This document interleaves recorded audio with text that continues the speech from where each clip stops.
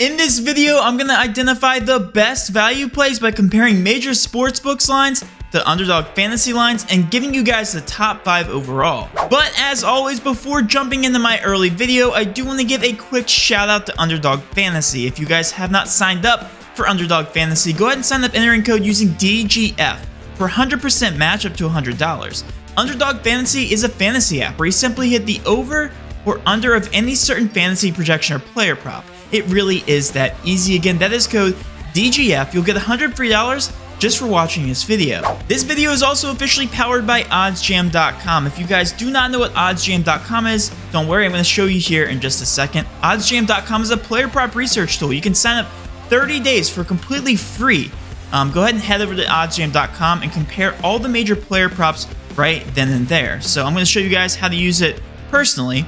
Um, every single morning, I wake up and identify the early value plays by logging on the OddsJam, looking at the specific sport that I want to break down. In this case, it's going to be MLB. Head to the MLB tab, obviously, and then you get to hone in on a specific matchup. For this example, we're taking a look here at the Toronto Blue Jays and the Chicago Cubs. I'm also honing in on a specific player prop that I want to research. This happens to be player strikeouts. As you can see here, Berrios in this matchup here for the Blue Jays um, his line is set to a near even line across the board all these major sports books have. So as you can see here, uh, looks like an underdog minus 137. We have a couple minus 118s. Regardless, it looks like the juice is kind of on that edge of five and a half. It's not shifting one way or another. So what this would identify to me is that the, the sports books this is some of the most accurate projections in all of the sports industry. Project this at five and a half, project him at five and a half strikeouts. So somewhere in between that five and six range. Okay, so you could end up with five or six.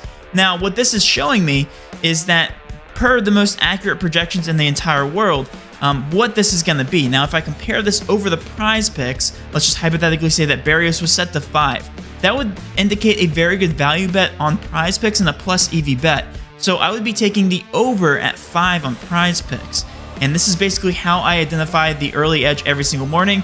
But don't worry guys, I've already done the dirty work for you. I'm going to go ahead and identify the top 5 overall. Coming in at number 5 is going to be DeGrom over 9.5 strikeouts. This has a line of minus 153 on Pinnacle Sportsbook. This means Pinnacle is giving us a 56.9% chance to hit the over. Coming in at number 4 is going to be Bride over 0.5 player hits. This has a line of minus 155 on FanDuel Sportsbook. This means FanDuel is giving us a 57.4% chance to hit the over. Coming in at number 3 is going to be Nick Allen over 0.5 player hits. This has average juice of minus 150 on major sports books. This means Vegas is giving us a 57.7% chance to hit the over. Coming in at number 2 is going to be Bubic over 4 strikeouts. This has a line of minus 202 on Pinnacle Sportsbook.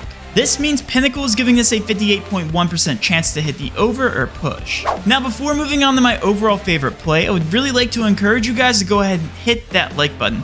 We're going to try to get this video to 50 likes. If we can get this video to 50 likes, I will go ahead and I will post my 5 player slip in the YouTube comment section below. And for every additional 50 comments we get on this video, I will post an additional play on top of my 5 player slip and my 5 free picks in this video. My overall favorite prop is going to be a player hits prop. This prop currently has minus 200 juice on FanDuel Sportsbook. This means FanDuel is giving us a 63.4% chance to hit the over. My overall favorite play is going to be Seth Brown over 0.5 hits.